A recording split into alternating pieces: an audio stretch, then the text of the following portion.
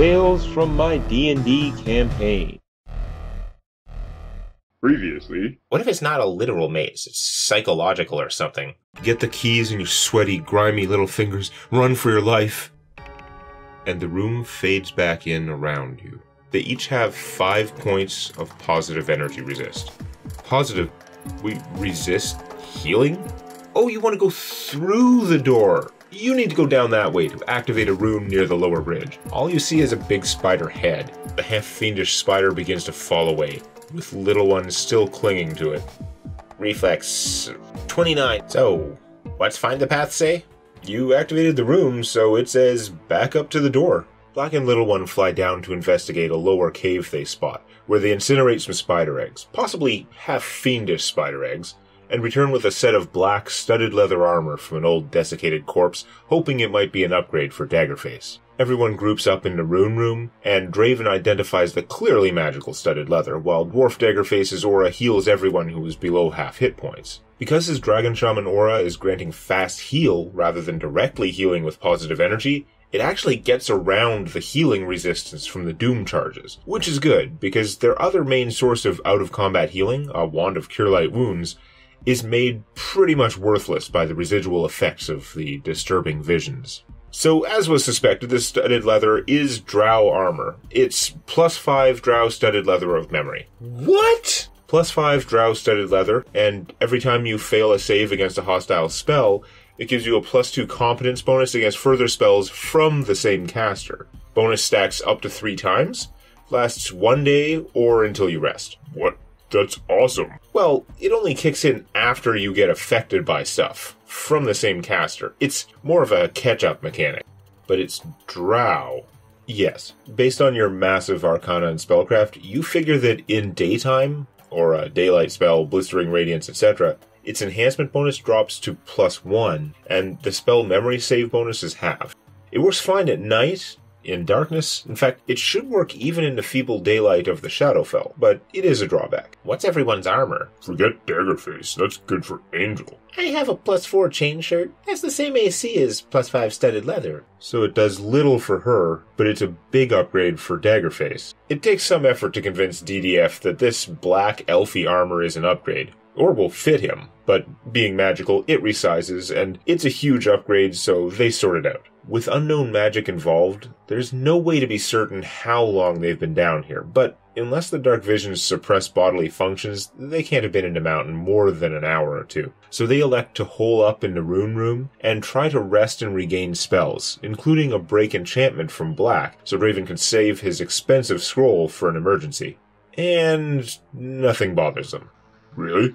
I wouldn't think anybody would realize yet that the fiendish hell spider protecting this place is gone. They had cast some healing spells first, through the positive energy resist. And now, after resting for 8 hours, Black's break enchantment clears one doom charge from each of them. I have none, right?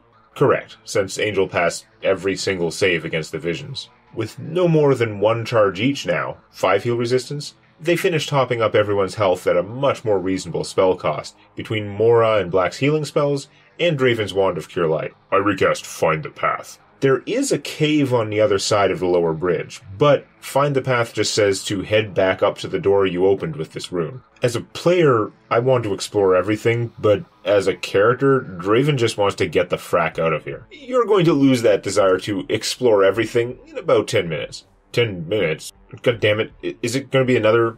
No.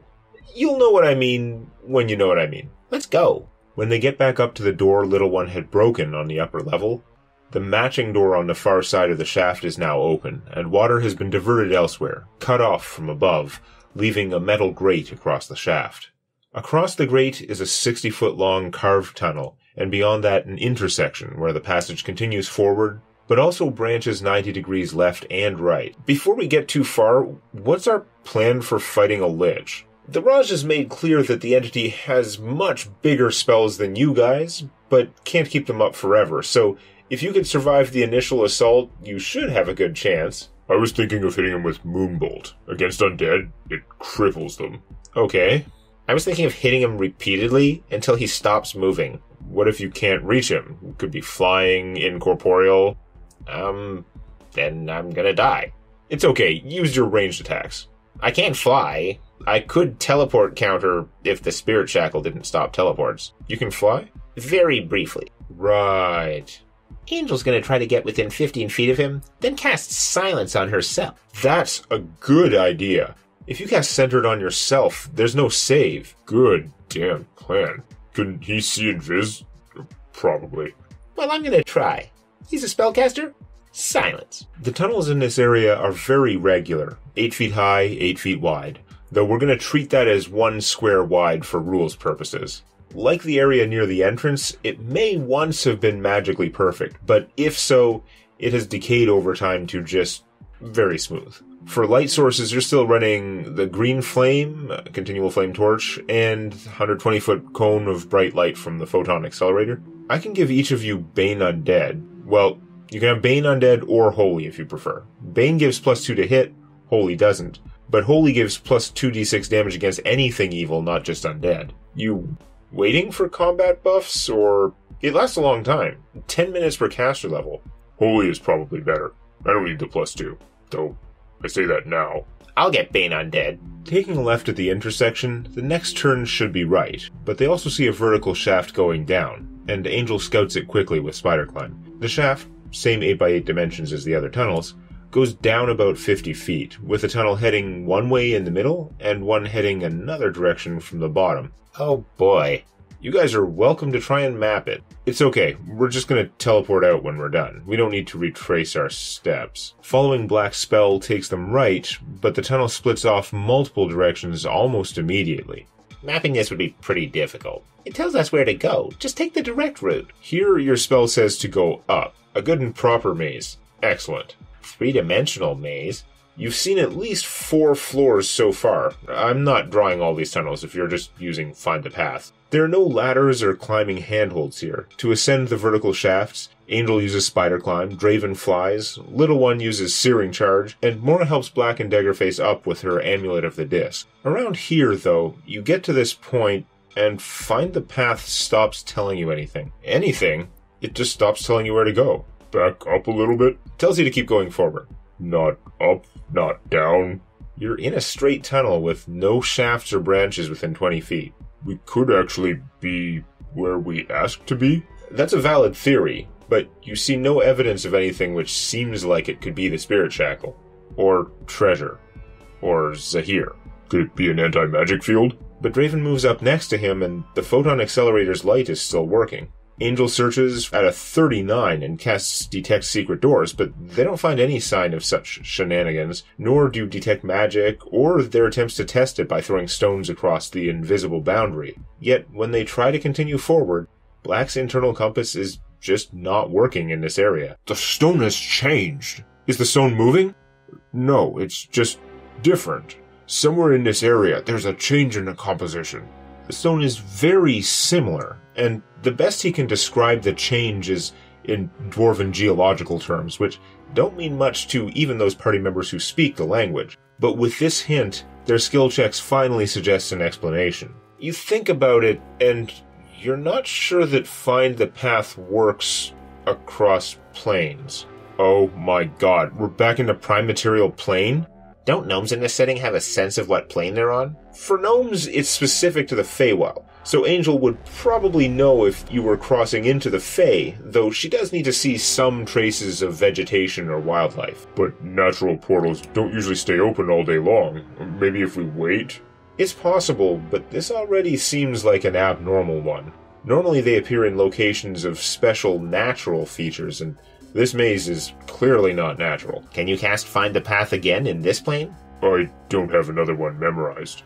Is there an object that Zahir had that we could cast Locate on? Actually, we could try Locate Creature.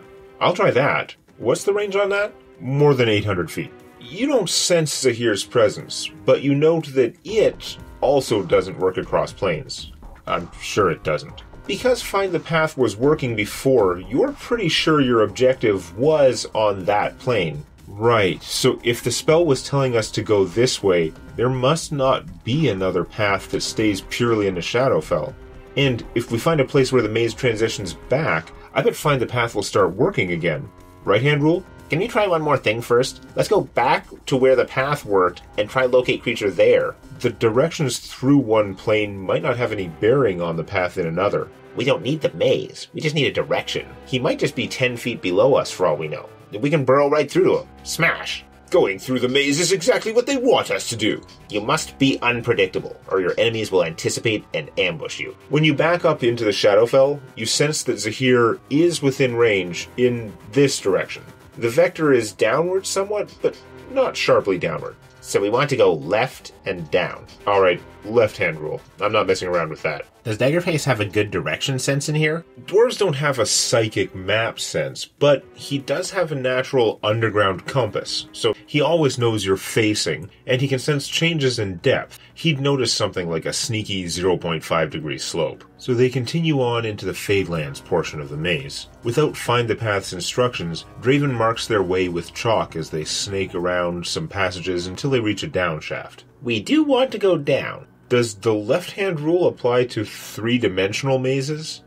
That's the problem, isn't it?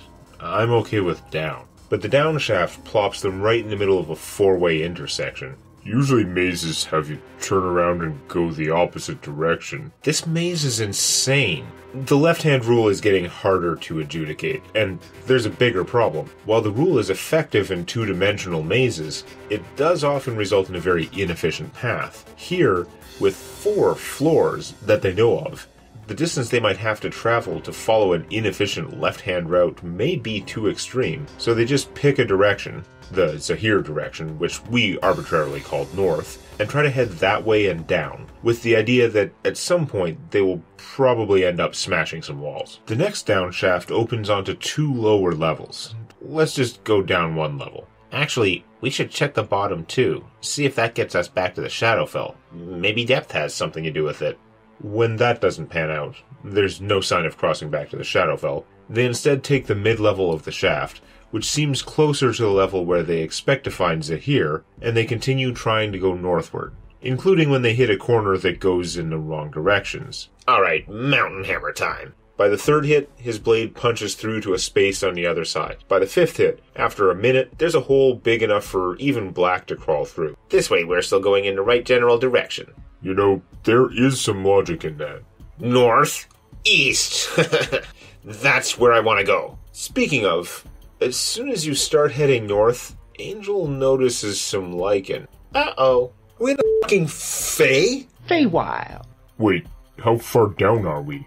How far down can we go in the Fey? See, that's the interesting thing. Because these tunnels exist in the Fadelands and in the Shadowfell, it makes it possible for them to be cut out in the Fey as well. It's also quite possible that some of the rock above you, between here and the surface of the mountain, is effectively indestructible in this plane. Keep moving north. They ignore a couple branches, including an upshaft and a downshaft, but then the tunnel they're following bends south. So they backtrack a few feet and go down. Because Angel can sense the Feywild and DDF can tell the difference between the stone in the Fadelands and the Shadowfell, together they can quickly determine what plane they're on, and they have now traversed back to the Fadelands. But there too, they find they can't go any farther northeast, again hitting a corner where none of the branches near them head in either of those directions.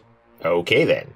Little ones start smashing into the walls, causing damage at the same rate as before. Sluggish, it feels, but having an impact that would be impossible for most beings.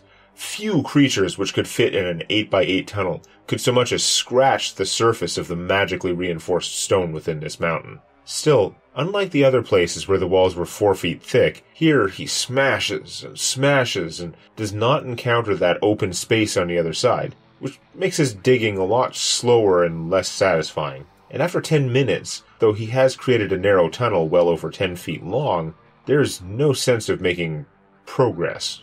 We may have hit the edge of the maze, So we can't go any more north than this. though if we find anything that leads further north, that's probably the exit. I think now it's time to work our way down. So I smash the floor. Okay, you start trying to dig yourself a hole, but you do know from the shafts that it's 20 feet between floors. How long will that take? A while. But also, your technique is great, but you're gonna have to start making constitution checks if you're gonna keep mining with it. Mining.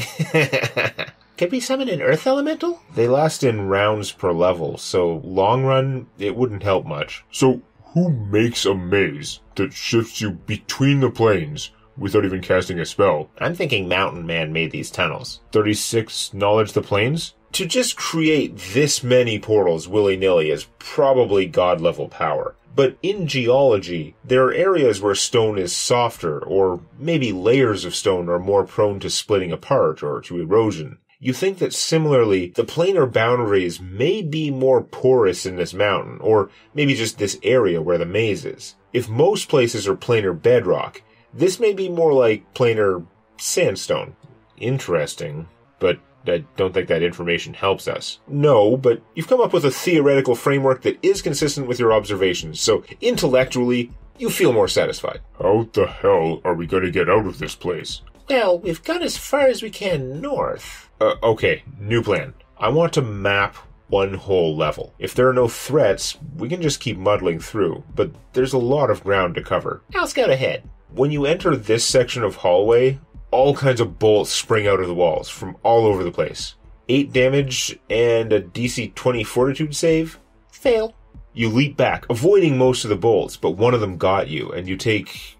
Ow. Four points of dex damage from the poison. Angel searches now, finding a series of pressure plates. The trap doesn't have a magical component, so she just triggers it a half dozen times till it runs out of ammunition. Unfortunately, she fails the secondary save against the poison, taking another five points of dexterity damage. Black, you have lesser restorations. You're high enough level to memorize a few every day. What am I, support? Mapping the whole level is going to take quite a while. Were you guys thinking of splitting up? Hell no! Split up in a maze? Even with her dex cut in half, Angel still has excellent search, but searching means moving along at half speed. She finds another trap, like the one which hit her, and she disarms it, but decides that in the future it's actually easier, once you find it, to just trigger them safely a few times and run them out of ammunition. Then she missed a bolt trap. She has a solid roll. She knows her check is high enough to have found those other ones, but a couple bolts shoot out at her. What's your AC with your new temporarily shitty dex? I'm being defensive, so 25. You can't fight defensively while searching for traps. Your main action is searching, but fighting defensively is also a standard action. Okay, then 21. Ouch. Actually, it missed. What?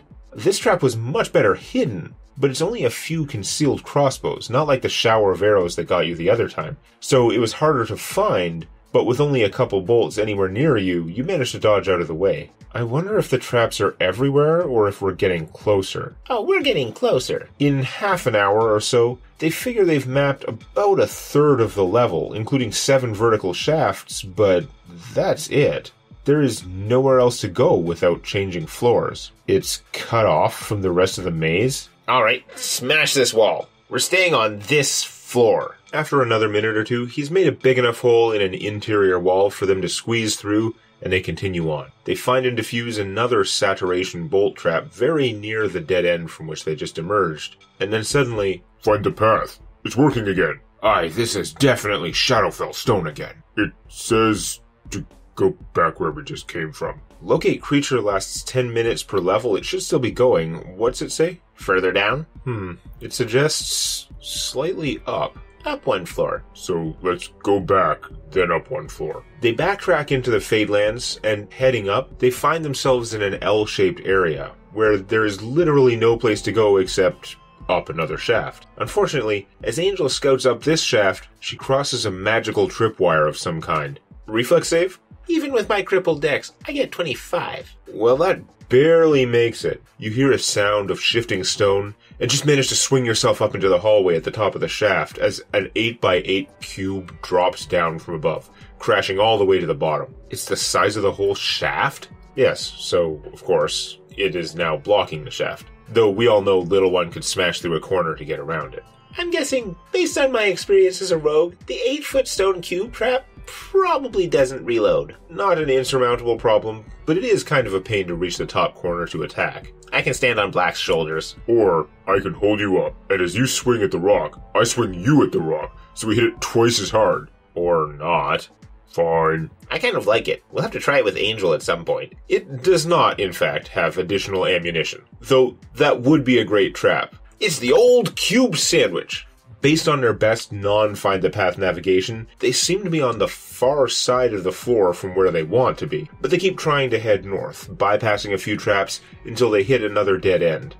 You, north! Passing through the gap, find the path tells you to go up. Shadowfell again. Yay! They begin to realize that as long as they're in the Shadowfell and able to follow the spell's guidance, the correct path, they don't find any traps. I guess that makes sense. So the further you are from the path, the more likely you are to find traps. The opposite of what I guessed before. At this point, you guys have effectively defeated the maze as a problem. Yet another problem that smashing can solve. When a big rocky fist comes out of the wall and smacks a randomly determined Mora for 20. An earth elemental? Mora is stuck in the middle of its 15 foot reach, making spellcasting difficult, so she tries to tumble away. Unfortunately, multiple squares of tumbling means multiple rolls, and one of them comes up bad. That sucks. So, attack of opportunity. Wait, You have a reaction to an attack of opportunity. shield block, plus 9 AC. You get your shield in the way, but it's like a freight train plowing through your defense and into Mora, who takes another 22. Ouch! She's getting out of combat, but since all she's done is move, and it used its attack of opportunity, she casts haste. Black is close enough to full attack, but he misses once, and since Draven's holy buff on his weapon doesn't affect neutral elementals, its 10 point damage reduction means it only takes a little damage from each hit. Little One tries to shut down its actions with Disrupting Blow, but it rolls well and succeeds at the will save despite its poor bonus, so he has to settle for just 18 damage after DR. Damn. Well, I switched to Iron Guard stance, so it has minus 4 to hit anyone else but me. Point blank, in the face with my Wand of Force, then I'm going to saunter away because it's used its attack of opportunity. Woo, take 41 force. Then I saunter.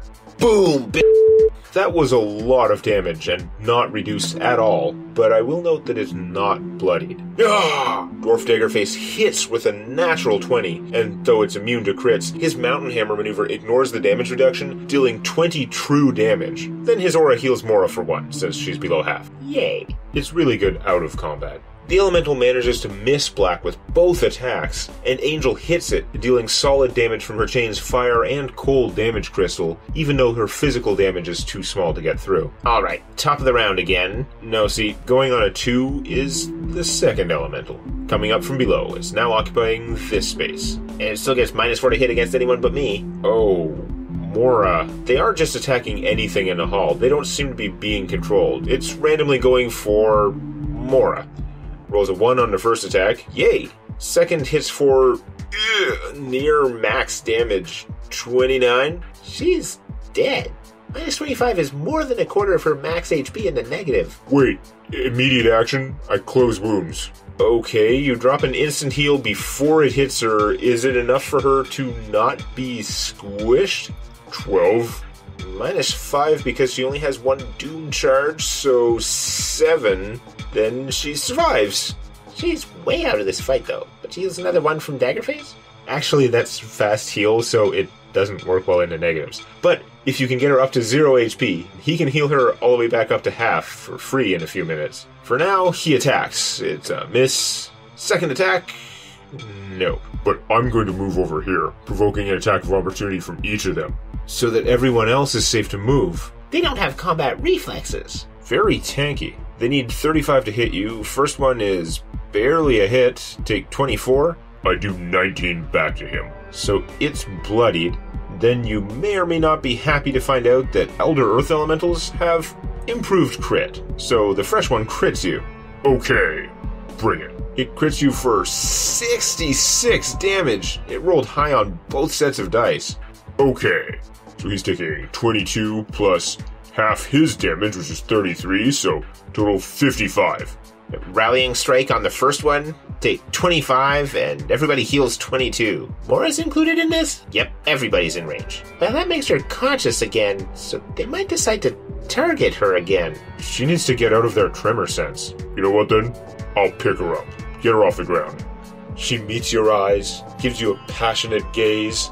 He has pretty eyes, but such tiny gills. Draven force orbs again for 40 damage. But then the elemental 5 foot steps out of the wall. Daggerface would be in its way, but it's so large that it's allowed to occupy the space as though he weren't even there.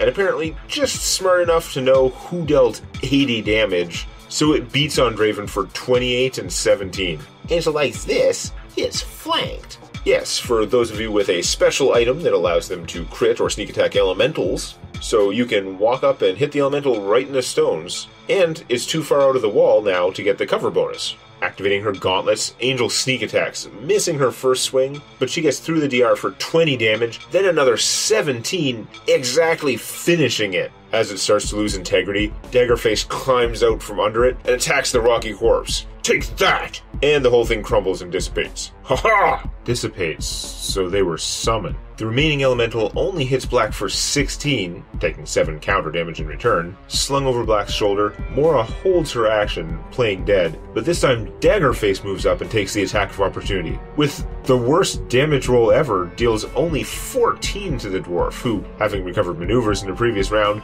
mountain hammers again for 18 true damage. With the elemental thus distracted, Black puts Mora down so she can heal herself for 20 and move to a safer distance, while the cleric turns and hits the earth elemental for 6 after damage reduction. Well, if they haven't been resisting Angel's fire damage, nope. Inferno Blade. I hit 3 out of 4 times, so take 46, 47, and 51 damage. It does resist 10 physical damage from each hit, but that still leaves a total of 114 damage. And it's bloodied now. And I kill seal it. Well, we're technically acting on the same initiative, so we could say we killed it together. But I kill seal it. They pause a couple minutes for Daggerface's Dragon Shaman fast healing aura to bring everyone back up to half health before spending any more healing spells especially since there are still some doom charges out there.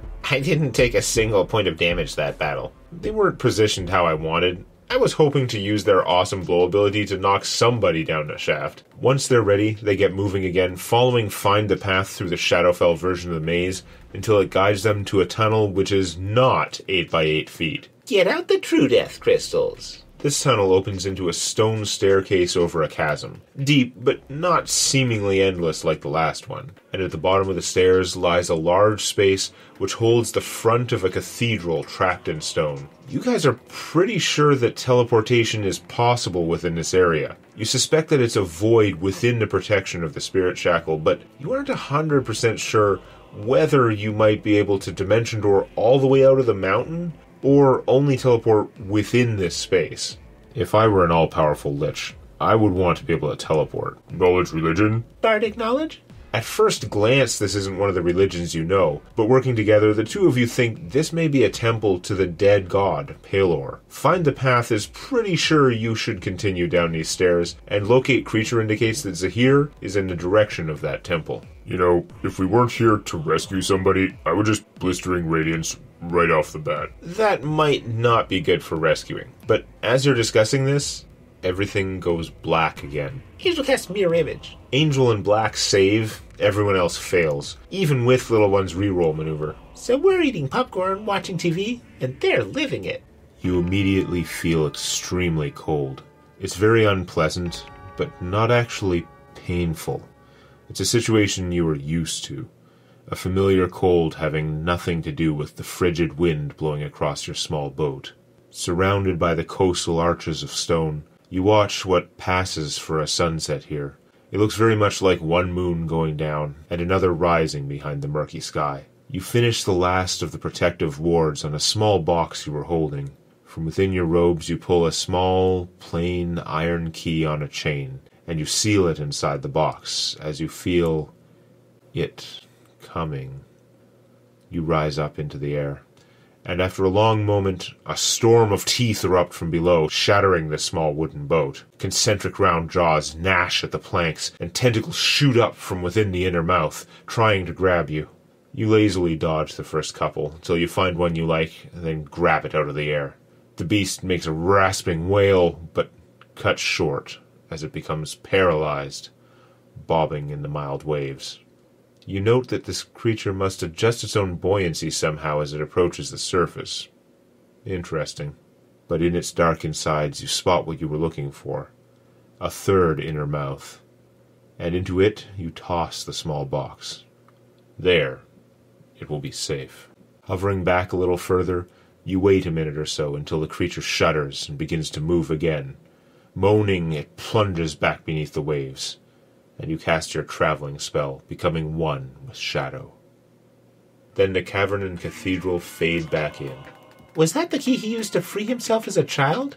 The same key, paralyzing touch, and hiding its phylactery. So we can't kill it because a lich can just reform from its phylactery. Well, I'm hoping it to free our friend and get the gold and drop the teleportation barriers and all that.